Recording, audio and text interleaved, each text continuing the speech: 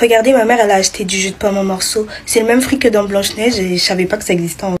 Regardez, je viens d'acheter de l'eau en morceaux. C'est comme dans Titanic, je ne savais pas que ça existait en vrai.